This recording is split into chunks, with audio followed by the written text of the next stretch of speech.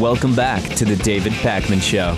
Welcome back to the show. Special membership offer happening right now in honor of Louis's band Krakatoa winning the Metal Olympics. If you have no idea what I'm talking about, don't don't get too wrapped up in it.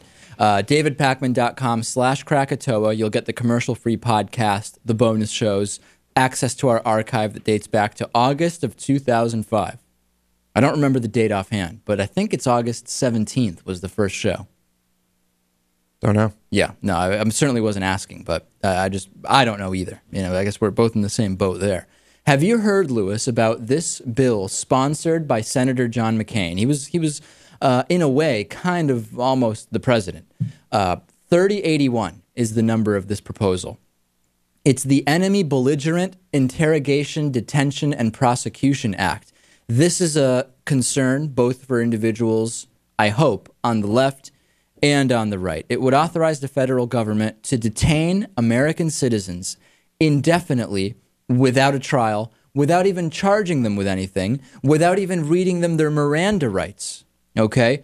Homeland Security Secretary has classified veterans, retired law enforcement, Ron Paul supporters, uh, conservatives as terrorists. That we know. So we know that the skills and the discernment that exists on behalf of the government uh, to, to figure out exactly who is a risk are not always that great. That I think we know. We also know that when it comes to, for example, the no fly list, Ted Kennedy was on the, the no fly list for a while. So we know that with that assessment of people, we were kind of off also in many cases.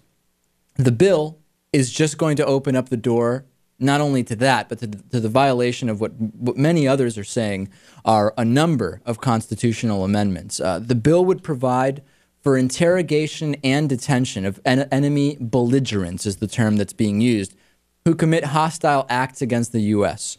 And the idea, I guess, is that the government wants to start, wants to continue, wants to expand, use whatever word you want, being able to just pick anybody up, whether or not you have real evidence against them, whether or not you just have hearsay, hold them indefinitely without even accusing them of a crime, and interrogate them.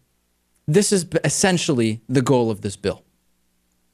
It's like uh, the Patriot Act on steroids. In a sense, it is. Yeah. And this is opposed by the Campaign for Liberty, the Cato Institute, Amnesty International, Arkansas Libertarian Party. We're seeing opposition to this from all sides. So you should think, Lou, as well. If, if there's broad based opposition and people from all sides of the political spectrum who don't like this, certainly it won't pass, right? Because the will of the people is represented in our political system. I'd hope so. But as we know, that's often not the case. And it's appalling to me that two so-called patriotic men, I mean, who even who, who even knows at this point whether the patriotic people are the McCains or, or not, but John McCain and John Thune. McCain spent five years in a North Vietnamese POW camp. John Thune professed to have heartland values. How could they put forth such an intellectually dishonest, poorly defined, as many of these bills are, ill thought out, and according to many legal experts, blatantly unconstitutional law? There is no definition about what material support means. What does it mean to provide material support to a terrorist organization? Well, I don't think you should be surprised. I don't think you should be surprised either, Louis, that it's not clearly defined. That's how these laws are used to the advantage of those who don't want clear definition. They want a, a free reign to basically do whatever they want. Right. Any U.S. citizen who's a war protester and publicly exhibits an anti government sentiment could actually fall under the category here where you could just be held indefinitely without being charged for anything. And you know, if you watch this show or listen to this show at all, and you know too, Louis, sometimes you pay attention. I think you'll be able to attest to this. I dislike Nazi comparisons.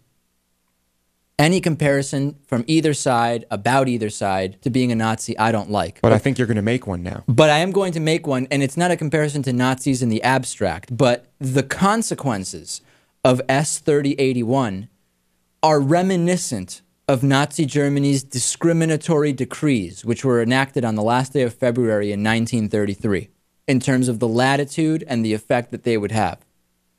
And that's a Nazi comparison I'm comfortable making. I'll back that up.